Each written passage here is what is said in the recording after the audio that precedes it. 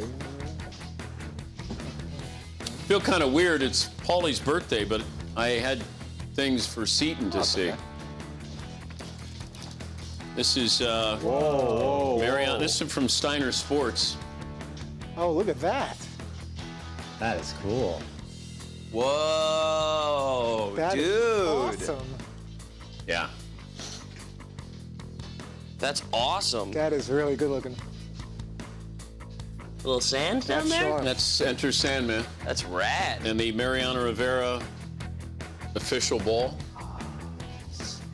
Yeah. We only had a Yankee that. fan in here who would really enjoy this. Yeah, dude, that's dope, man. Yeah. Get it up on the wall, brother. Be a good place to keep that around here or elsewhere. So Mm. cool. Probably over on my side.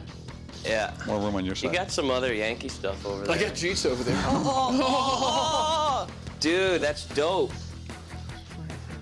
We So- have a little turf over there too. I know you do. You have, but uh, Steiner Sports uh, sent that. Dude, that's rad. Dan Patrick Show, this is Todd. See, that kind of Do goes. we get in trouble if we use this baseball? this kind of goes with you know you got the brick and the wood like I have on my sign. Yeah. Yeah, they got the official.